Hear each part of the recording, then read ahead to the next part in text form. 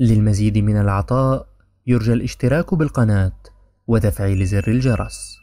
مرحبا بكم في قناتكم تعلم اللغة الفرنسية بالعربية.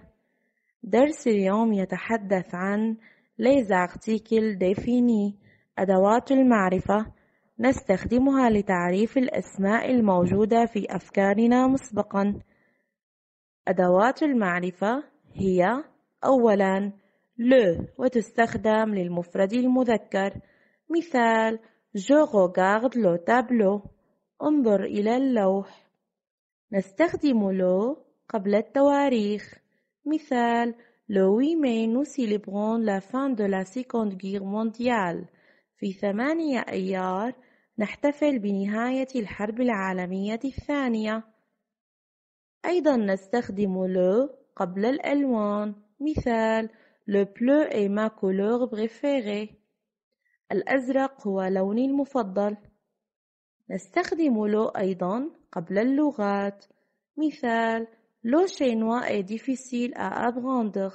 من الصعب تعلم اللغة الصينية. أيضا نستخدم لو قبل البلدان. مثال j'ai visité le Japon. زرت اليابان. الأداة الثانية من أدوات المعرفة هي لا وتستخدم للمفرد المؤنث. مثال C'est la voisine de mon oncle. إنها جارة ابن عمي. أيضا نستخدم لا قبل الأسماء الخاصة.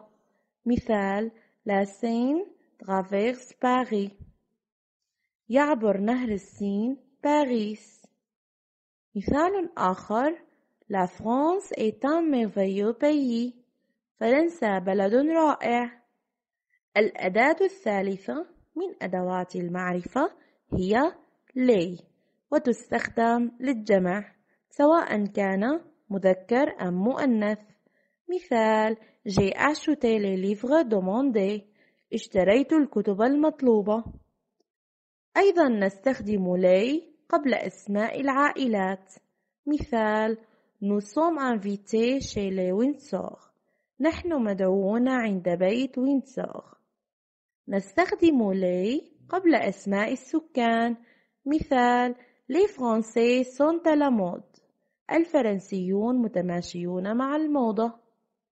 أخيرا نستخدم لي قبل البلدان. Les Émirats se considèrent comme un pays أغاب سيفيليزي تعتبر الإمارات بلد عربي متحضر. ملاحظة.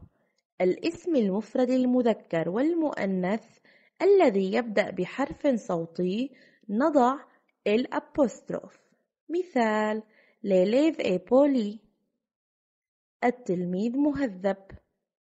مثال آخر L'homme est consacré الإنسان مقدس. شكرا لحسن سماعكم. نتمنى أن تشتركوا بالقناة وتفعلوا جرس الإشعارات.